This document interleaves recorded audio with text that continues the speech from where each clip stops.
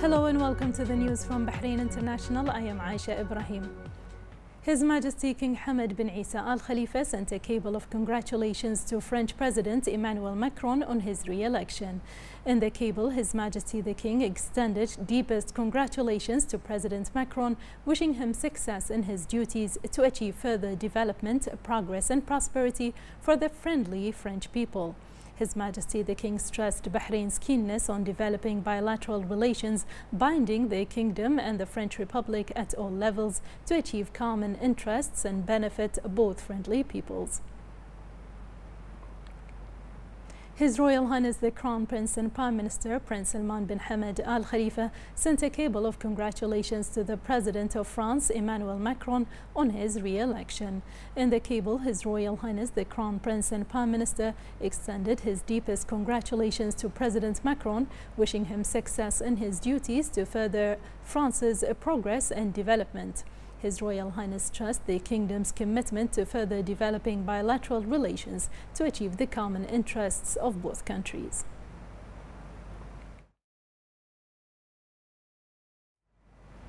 His Royal Highness the Crown Prince and Prime Minister Prince Salman bin Hamad Al Khalifa chaired the weekly cabinet meeting at Gudaybiya Palace. The cabinet extended its congratulations to His Majesty King Hamad bin Isa Al Khalifa, His Royal Highness the Crown Prince and Prime Minister, and the citizens and residents of Bahrain on the occasion of the upcoming Eid al-Fitr holiday. His Royal Highness directed the Civil Service Bureau to transfer annual leave surplus to frontline health professionals and other support staff. The Bureau was also directed to transfer excess annual leave for employees whose annual leave balance exceeded 75 days on November on December 31, 2021. To mark the impending Bahraini Press Day and World Press Freedom Day, the Cabinet wished media professionals and journalists success and highlighted the active role of media in supporting the kingdom's national development. For Labor Day, the Cabinet emphasized the dedication and contribution of the kingdom's workforce to Bahrain's successful achievements, which has increased their attractiveness to employers.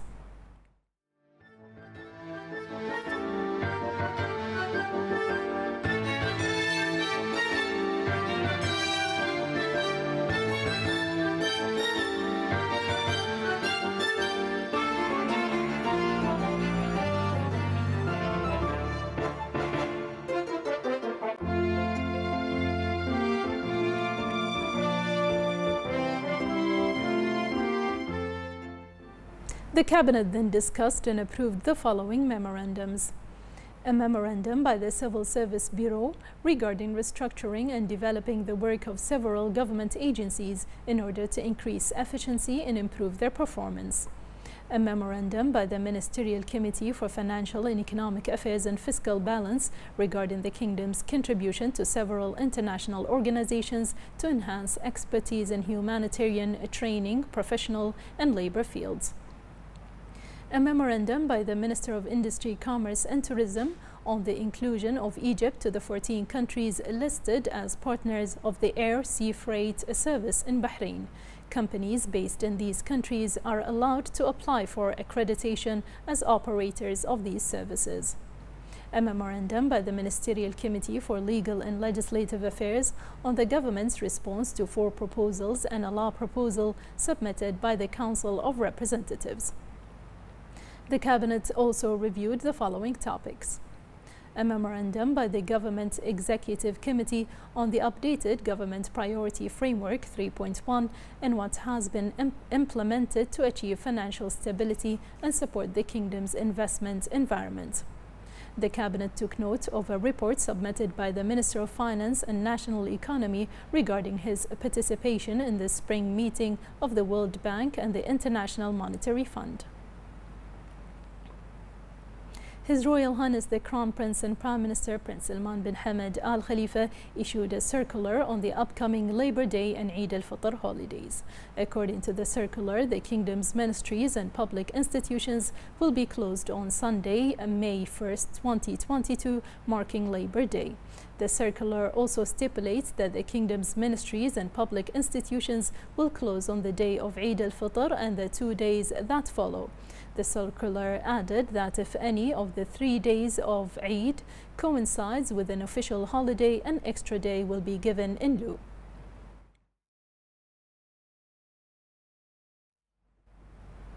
Under the patronage of the chairman of the Supreme Council of Health, SCH, Lieutenant General Dr. Sheikh Mohammed bin Abdullah Al Khalifa, the Research and Ethics Committees, in cooperation with the Public Relations Department, organized an honoring uh, ceremony for the first research symposium for government hospitals employees.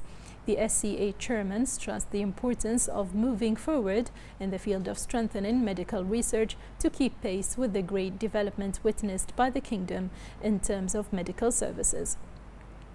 He expressed pleasure at the distinguished and scientific level of Bahraini medical research in various fields. For his part, a chairman of the Board of Trustees of Government Hospitals, Sheikh Hisham bin Abdulaziz Al Khalifa, expressed pride in the medical staff of government hospitals and their contribution to raising the name of Bahrain through their pursuit of scientific research.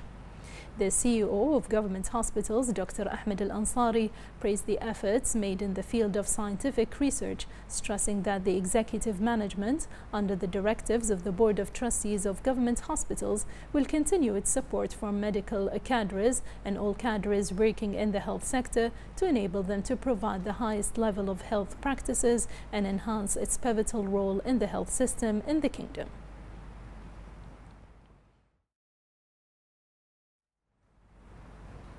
The chairman of the Supreme Council of Health, SCH, Lieutenant General Dr. Sheikh Mohammed bin Abdullah Al Khalifa, presented the Prince Salman bin Hamad Medal for Medical Merit to the Council's employees in implementation of the Royal Order and within the framework of the directives of His Royal Highness the Crown Prince and Prime Minister to all concerned parties to present the medal to frontline workers of health cadres, the BDF, the Ministry of Interior, and all supporting bodies. Dr. Sheikh Mohammed affirmed His Majesty the King's pride and His Royal Highness the Crown Prince and Prime Minister's appreciation for the sincere national efforts of all frontliners to combat the pandemic. He praised the national efforts of Team Bahrain, which provided its ability to develop strategies to deal with the various circumstances, praising the societal awareness among the people of Bahrain, which aided in supporting the efforts to overcome various circumstances. For their part, the members of the Council expressed their pride in receiving the medal, stressing that it is an incentive to continue working to serve the kingdom.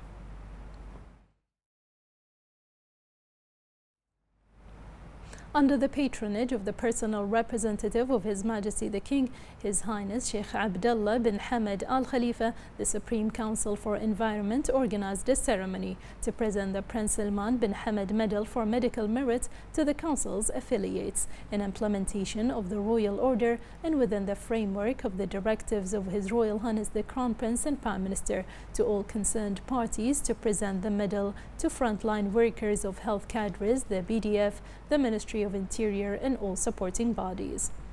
The Special Envoy for Climate Affairs and Chief Executive of the Supreme Council for Environment, Dr. Mohammed bin Mbarak bin Daina, affirmed His Majesty the King's pride and His Royal Highness the Crown Prince and Prime Minister's appreciation for the sincere national efforts of all frontliners to combat the pandemic.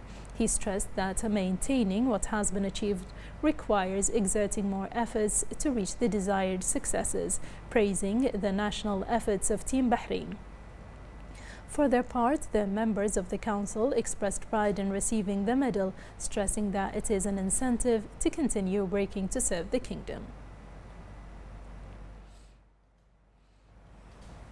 The Ministry of Justice, Islamic Affairs and Endowments announced that five places of worship, worship under the Sunni and Jafari Endowment Directorates have been fully revamped in implementation of the directive of His Royal Highness the Crown Prince and Prime Minister Prince Salman bin Hamad Al Khalifa to open and restore 20 mosques across the kingdom. His Royal Highness the Crown Prince and Prime Minister also issued directives to fast-track the designing and construction of 12 mosques in Salman town. The five revamped places of worship are uh, venues are Ahmed bin Hassan in Salmaniya, Abdul Rahman bin Abdul Wahab in Jufair, Mijbil in Manama, Al Eid in Naim, and the Sheikh Yaqub in Naim. The Information and E-Government Authority IGA issued its foreign trade report on the first quarter of 2022, encompassing data on the balance of trade, imports, export, national uh, origin, and the re-export. The value of imports increased by 4% compared to the previous year, adding that the top 10 countries accounted for 69% of the value of imports. The value of export of national origin increased by 83% to uh, 1.255 billion Bahraini dinars during the first quarter of 2022. The total value of re-exports decreased by 14% compared to the previous year. The trade balance, which represents the difference between exports and imports, amounted to 51 million dinars, recording a surplus in the value of the trade balance in the first quarter of 2022.